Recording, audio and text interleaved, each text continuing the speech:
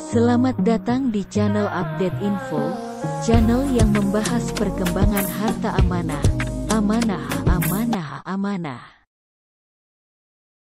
Assalamualaikum warahmatullahi wabarakatuh. Kami infokan untuk teman-teman semua.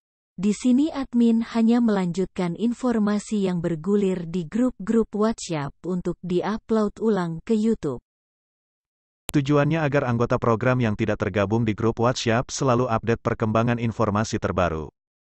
Dan apabila ada pembuktian pencairan, syukur Alhamdulillah karena itu harapan kita semua, mari selalu istiqomah panjatkan doa agar program yang sama-sama kita tunggu ini segera realisasi.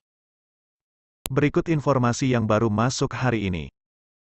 Update info L1, Sabtu tanggal 1 Januari tahun 2022 jam 8.59 WIB.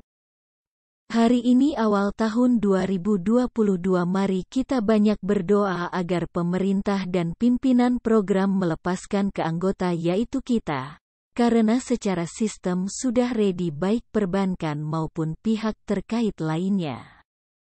Kita tunggu maksimal awal tahun ini. Januari sudah menerima mulai hari ini tanggal 3 Januari sampai tanggal 10 Januari tahun 2022. Untuk hasil akhir dari masing-masing program yang kita ikuti kami akan update terus jika ada perkembangan baik. Mari berbaik sangka dan positif agar semua pihak bisa berbesar hati untuk segera melepaskan dana yang sudah lama kita nantikan ini. Tetap semangat luur. Salam Merdeka Januari tahun 2022. Hasil Go Meeting tanggal 31 Desember jam 10.30. Informasi L1 sampai saat ini belum ada info on ATM.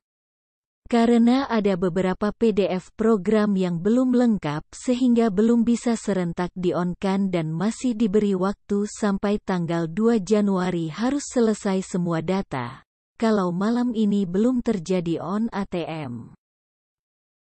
L3 tetap ST akan dilaksanakan 5 sampai dengan tanggal 10 Januari tahun 2022. L1 NRDKU, L3 Purwo RBS. Kita optimis saja di awal Januari akan merdeka finansial teman-teman.